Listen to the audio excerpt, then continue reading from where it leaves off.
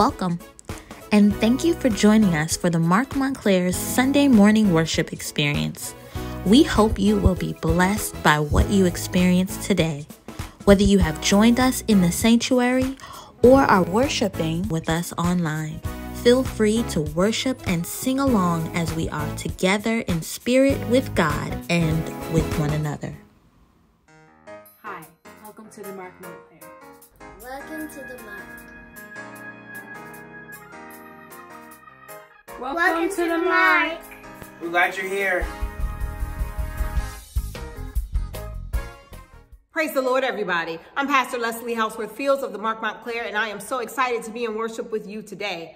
Our call to worship comes from Psalm 54, verse 4, and it says, Surely God is my help. The Lord is the one who sustains me. And as we prepare to enter into this worship service, let us remember that no matter what we're going through, God is our help. The hymn writer said, Oh God, our help in ages past. God is our help. God is watching over us. God is guiding us. And so let us worship God with confidence, knowing that no matter what we face, we are not on our own. Let us pray.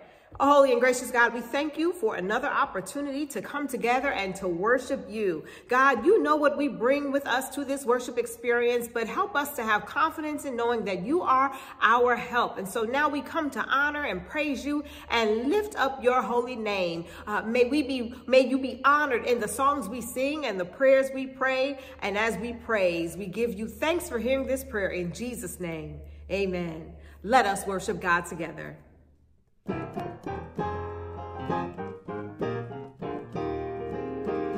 Blessed assurance, Jesus is mine. Oh, what a foretaste of glory divine. Heir of salvation, purchased by God. Born of his spirit, washed in his love. This is my story, this is my song praising my Savior all the day long. This is my story, this is my song, praising my Savior all the day long. Perfect submission, perfect delight, visions of rapture now burst on my sight angels descending, bring from above echoes of mercy, whispers of love. This is my story, this is my song, praising my Savior all the day long. This is my story, this is my song praising my Savior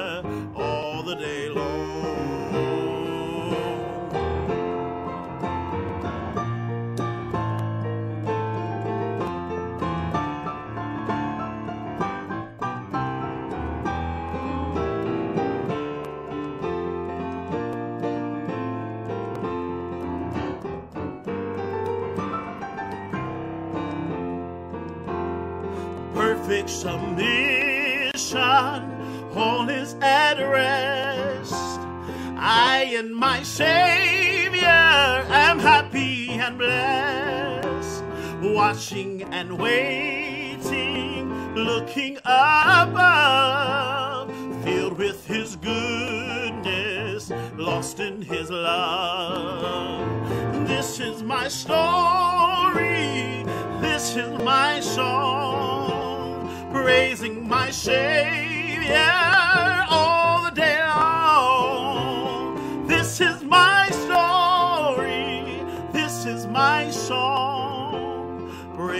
my Savior all the day long. This is my story, this is my song, praising my Savior all the day long This is my story. This is my song, praising my Savior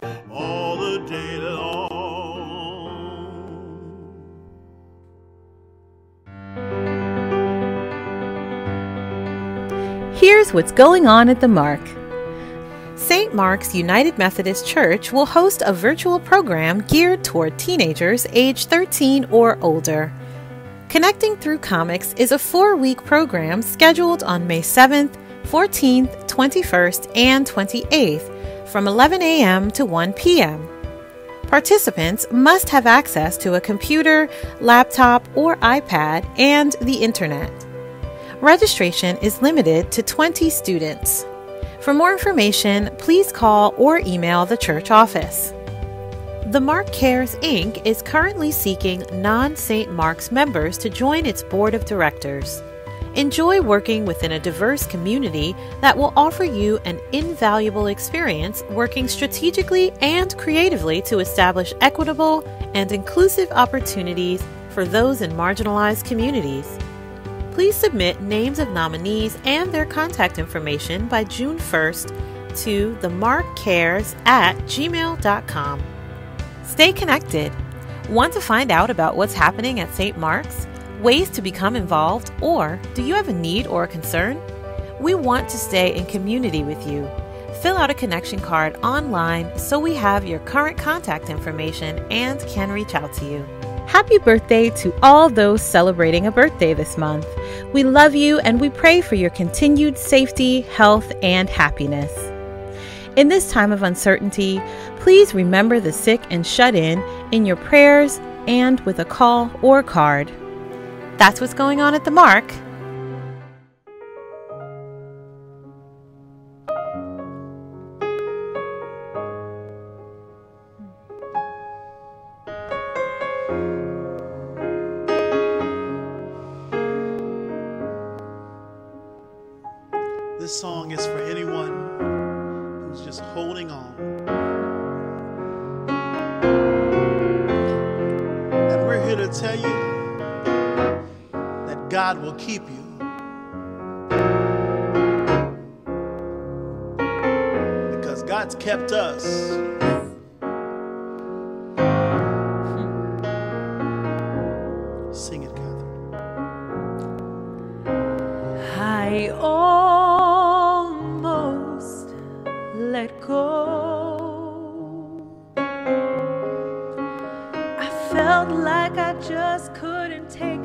Life anymore.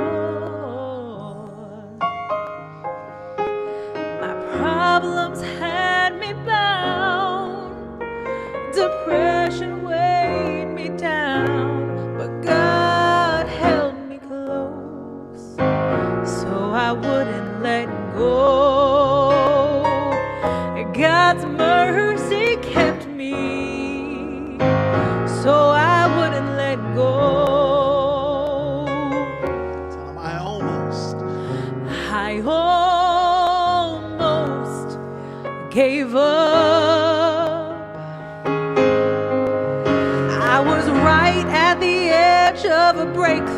but couldn't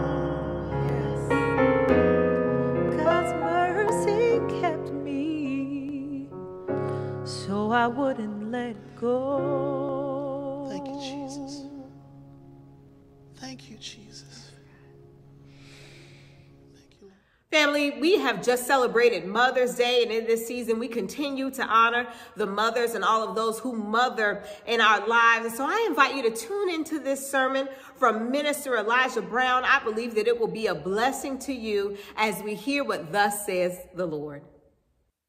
If you could just go with me to Psalms 121 as we get ready to go into the Word.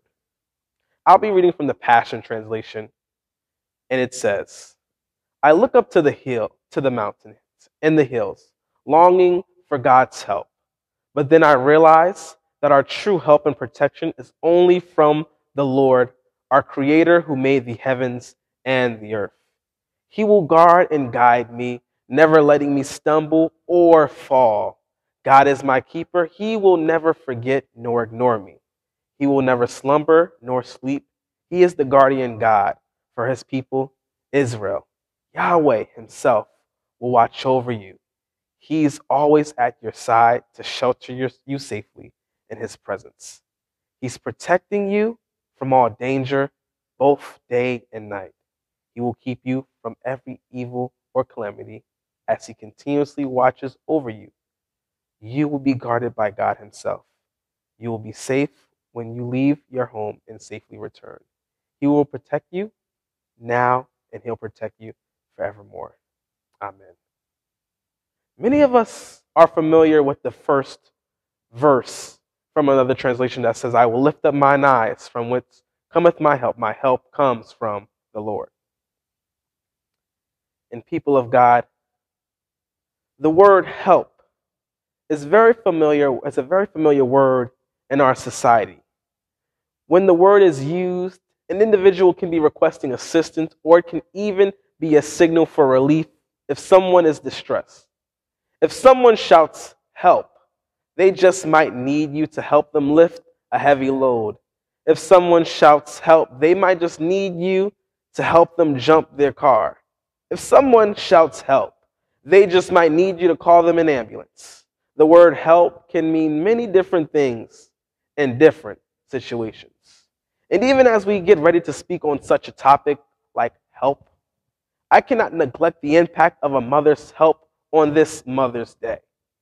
Some of us have stories about how our mothers have impacted us in our lives. Some of us can remember going to the playground and getting a stinging bruise on our elbow or knee and running back to our mother with tears running down our face while she cleaned the bruise and she looked at us and wiped the tears from our eyes. In fact, some of you know all too well about motherhood through your own experiences.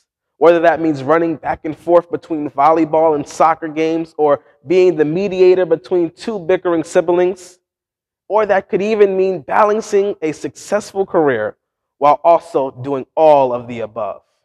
And I know as I reflect on my own experiences with my mother, I wondered how she was able to do it all.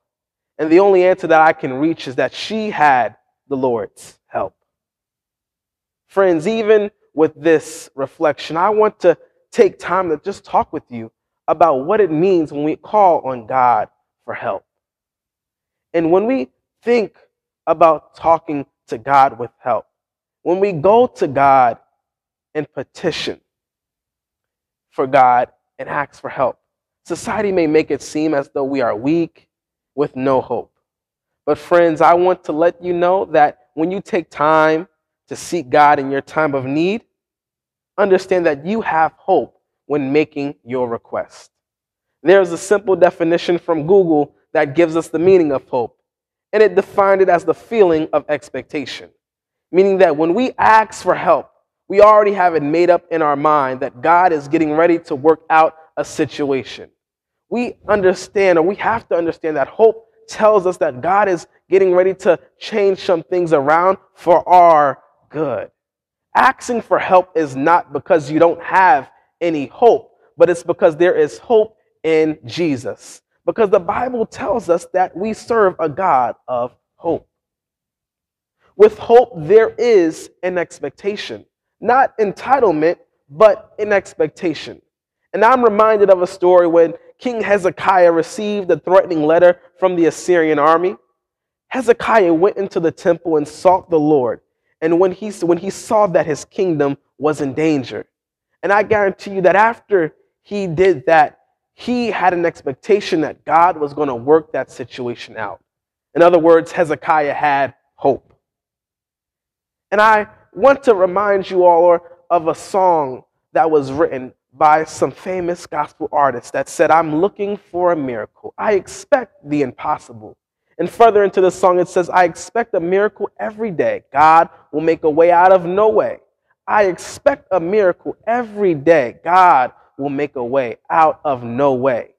In my help, I have hope. And in my hope, there is an expectation. And with hope, we have to understand expectation is knowing that God will meet us in our time of need. In our need for help, understand that we need to have hope in Christ or an expectation in Christ. Even when you don't feel hope, just know that we can call on God who came to a hopeless world so that it may have hope. And while we talked about hope, I want to actually also tell you that it's also important for us to put effort behind our prayers and petitions.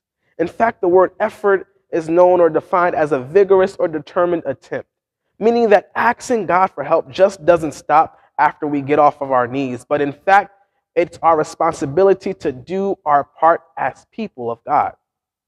There's a common phrase that, are, that is used that says, God helps those who help themselves. In other words, that means that when you seek God in prayer, when you seek God for help in your time of trouble, be ready to follow God's direction when God's directions when He gives them to you. And as people of God, it is so important to make sure that we put the work in after our prayers. It's just not enough to just ask God for help and do nothing afterwards, but it's important for us to be workmen even as God is working out the situation because the Bible tells us to. Tells us, tells us when it says, Ask and it will be given to you, and seek and you will find, knock and it will be open to you. For everyone who asks receives, and he who seeks finds, and to him who knocks it will be opened. When seeking help, we have to make sure that we put every effort to ensure that we are doing what God says to do.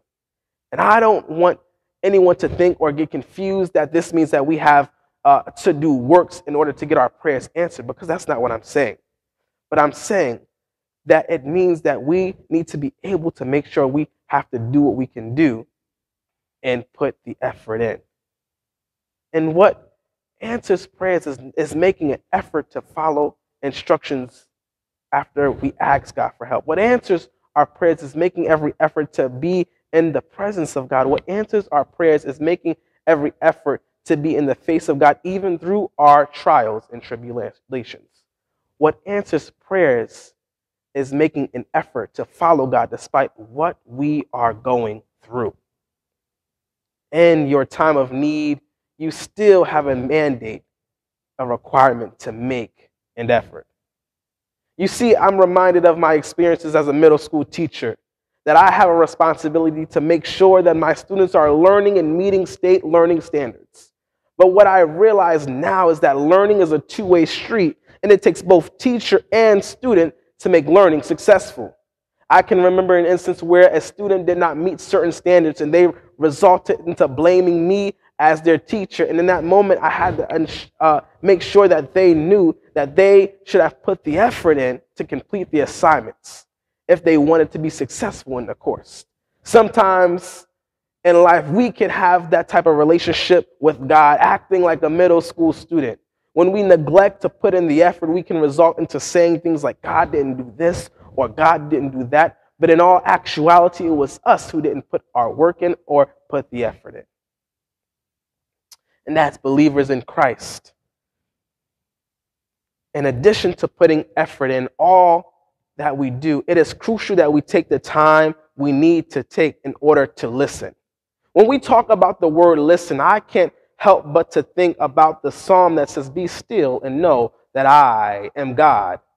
In other words, that scripture seems to tell us to just stop. For many of us, when we go into prayer, it seems like we are the ones doing all the talking. And when we're finished, we like to close the prayer up without even taking time to listen to the Lord. God just may want us to take time and stop and actually listen.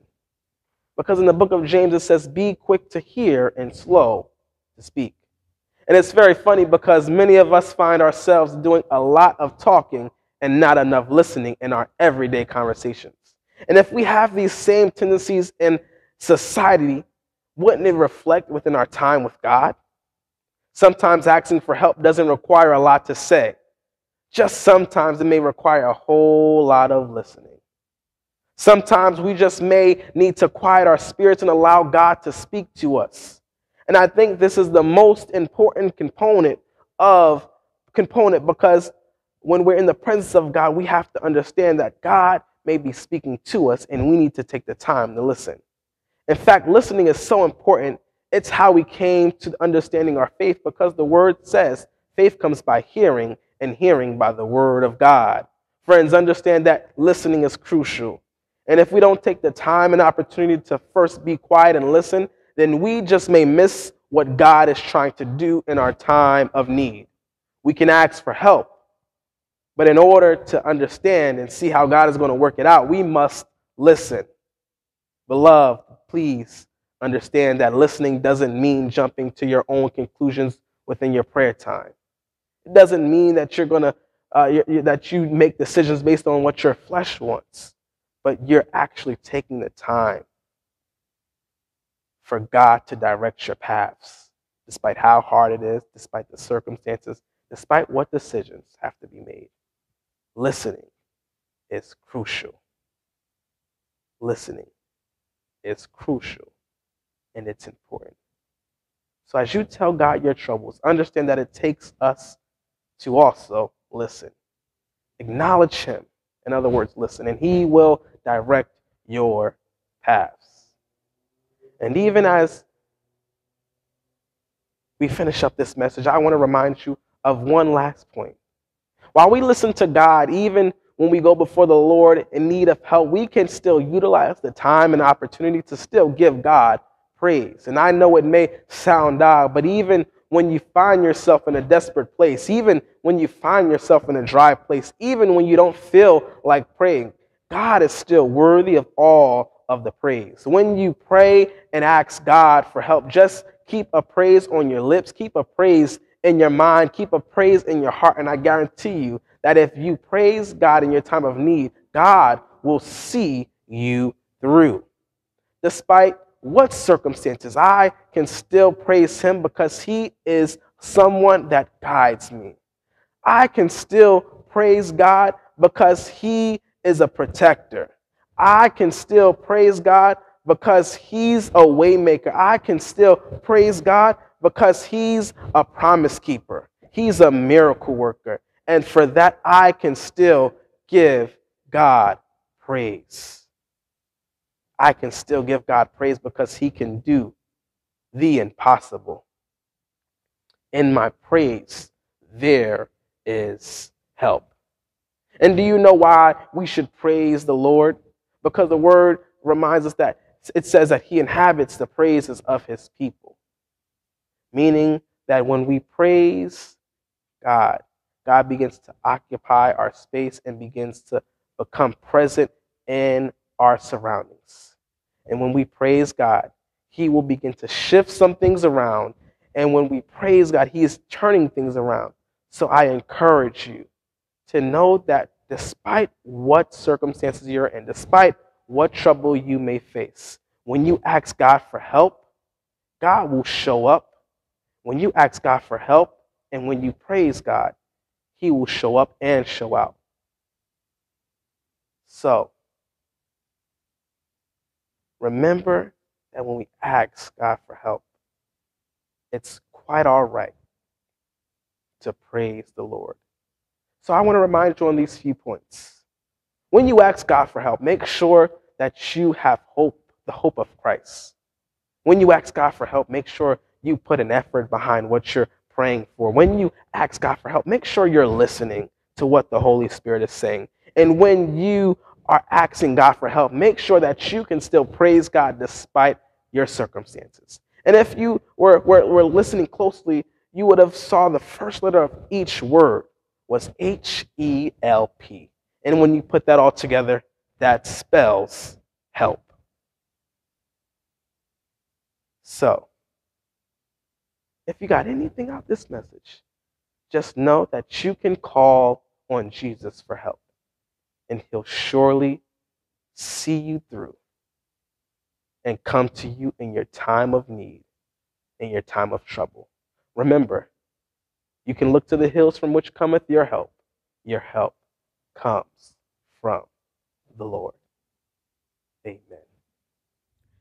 Thank you, Minister Elijah Brown, for reminding us that God is our help. No matter what we go through, we do not face it alone.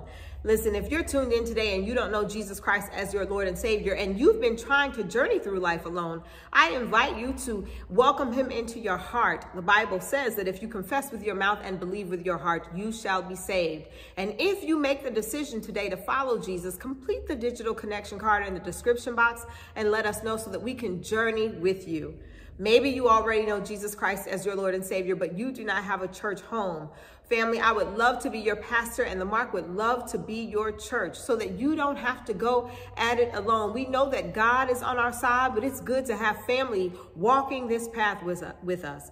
And finally, if you desire prayer, please complete the digital connection card and let us know. And our prayer team would be honored to pray with you. And now let us go before the throne of grace. Holy God, we thank you we thank you, thank you for this day. We thank you for your word, for the reminder that you are our help, that you are our refuge, that you are the place that we can go when life is difficult. And God, these are difficult days and we need you today. God, we need you to be a healer. God, we need you to be a provider. We need you to be a waymaker. We need you to be a deliverer, God. We need you to be a mender of broken hearts. Lord, we need you. Lord, we pray that you would touch every broken heart this morning. God, we pray for those who are anxious and worried. We pray for those who are worried about tomorrow, who are struggling to feed their families, who are wondering wondering how they're going to pay the rent or pay for gas. God, we just pray that you would give us peace while we wait, while we trust that you are on the way, while we trust that you are doing good things in our lives. God, help us to trust in you. Help us not to be anxious, God, but to put our trust in you because we know that you are our help. God, I pray for those who are going through things that I don't even know, but Lord, you know. God, you know every hair on our head. You know every worry in our hearts. You know everything that brings us joy. And so we lift it all up to you right now. God, continue to guide us as a congregation. Help us uh, to be the hands and feet of Christ in the world that we would continue to serve and make an impact. And God, when we find ourselves frustrated or overwhelmed, remind us that, that we can participate in your help, that we can answer prayers, that, that we can make a difference in the world. And so use us now, Lord. Use us to show someone the way, God. We are available to you even as we wait on you. God, you know all that we need. And so we just lift it all to you right now. And it's in the matchless and mighty name of Jesus Christ our Lord we pray. And together we say, Amen. Amen.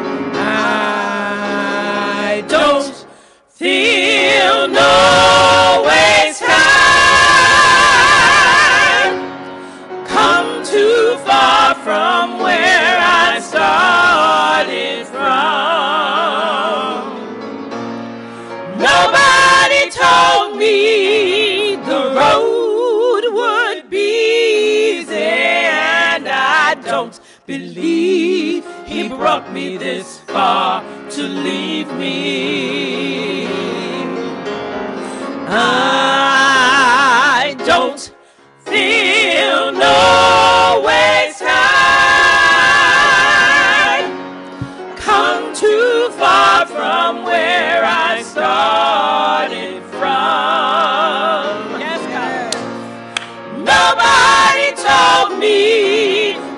road would be easy, and I don't believe He brought me this far to leave me. Yes, God.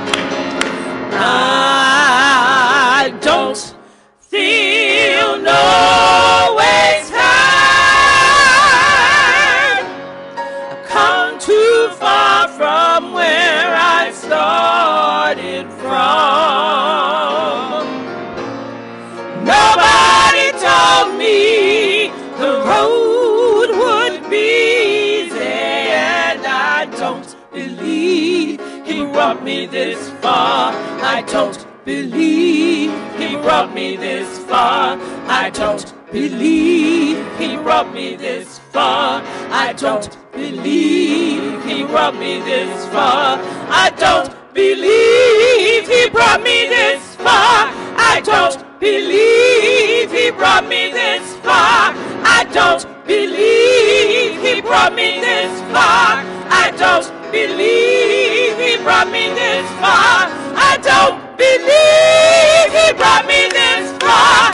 I don't believe he brought me this far. I don't believe he brought me this far. I don't believe he brought me this far. I don't believe he brought me this far to leave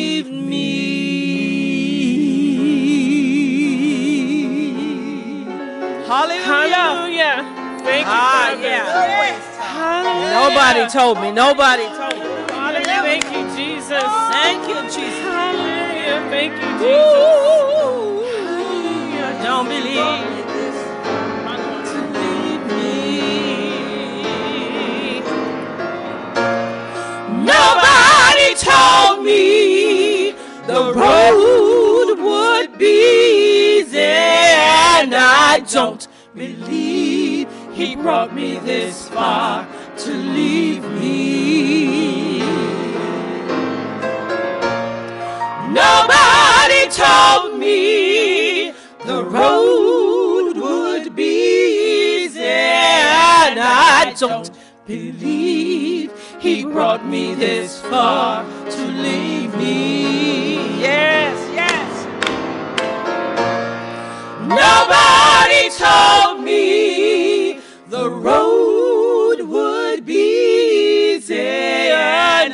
don't believe he brought me this far to leave me.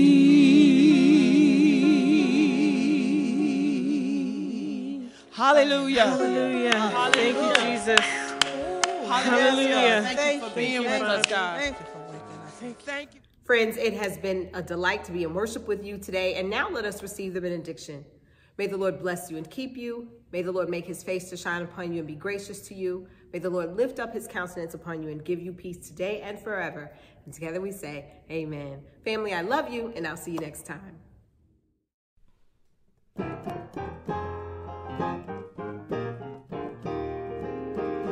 Blessed assurance, Jesus is mine. Oh, what a foretaste of glory divine, heir of salvation, purchased by God, born of his spirit, washed in his love. This is my story, this is my song, praising my Savior